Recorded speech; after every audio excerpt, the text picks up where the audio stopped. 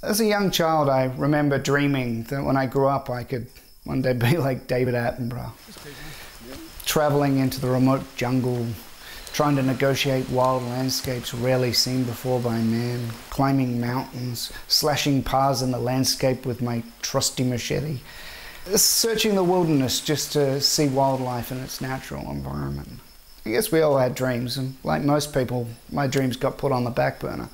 Life just gets in the way one day you think you're destined to be an astronaut, and the next you're middle aged, working in a tedious job that your younger self just could never imagine. I've always travelled when I can, but until recently my life's lacked the kind of adventure that I dreamed of as a naive kid. I turned 40 this year. Maybe I was just having a midlife crisis, but one night I found myself searching the internet looking for a holiday that was just a little bit different. It's when I found the Great Projects. There was a tour available in Malaysia, Borneo called the Orangutan and Tribes Tour. Lasted two weeks with a few days spent at the beginning doing volunteer work with the orangutans and the sun bears at the Matang Wildlife Centre.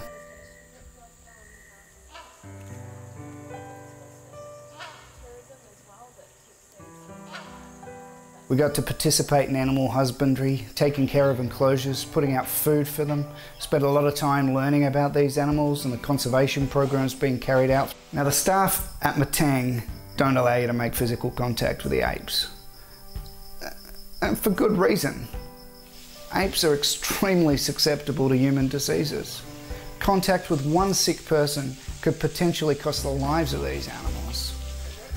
While the Great Projects are a profit-making organisation, unlike a lot of the uh, shonky fly-by-night so-called eco-tourism agencies around, the Great Projects are genuinely dedicated to providing a service which doesn't negatively impact on the conservation that's taking place. They try to ensure that the presence of tourism there benefits the local community. We spent a few days visiting places like Bako National Park and the Permai Rainforest learning how to spot all the different types of wildlife.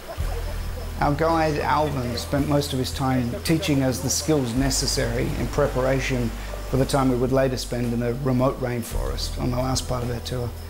Uh, it turns out the jungles are not very flat. Some incredibly steep terrain. It can be pretty daunting at times. The ground is giving way under your feet, everything's wet and muddy, there are leeches clinging to your shoes. Your legs are aching from continuous walking on the ever-changing terrain. You're hot and sweaty, dehydrated, and all during this time you're meant to be looking around, keeping quiet, vigilantly watching for signs of life. Trekking through the jungles is not an easy thing to do, and that time that we spent in preparation was invaluable.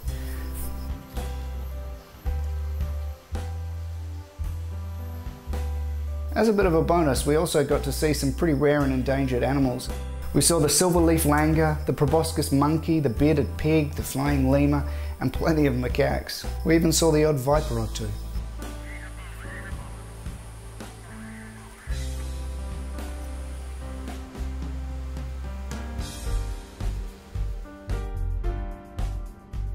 The final part of our tour involved catching a bus and then having some local tribespeople transport us upriver via longboat into a remote area of rainforest near the Indonesian border.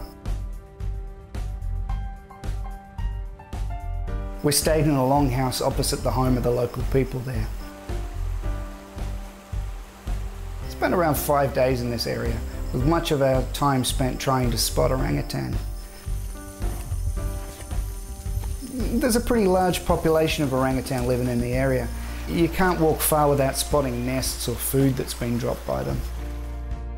We were lucky enough to see some very distinctive movement in the trees, which can only mean the presence of orangutan. Unfortunately, tracking orangutan is no easy task. We weren't lucky enough to make a full frontal sighting. The orangutan is clever enough to know that humans pose a threat in the wild. When they become aware of us, they hide. This is not such a good thing if you're trying to capture them on film, but might prove to be pretty good for the species as a whole.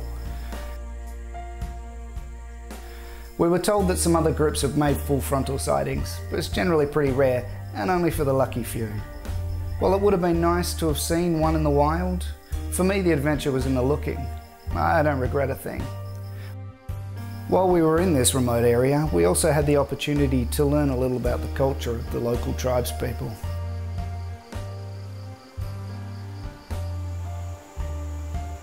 And even got to spend some time taking a dip.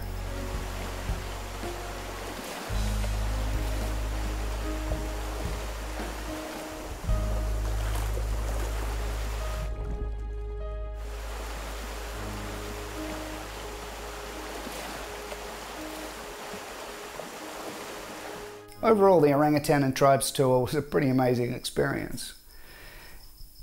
If you're looking for a relaxing holiday, then I, I probably wouldn't advise that you take this tour.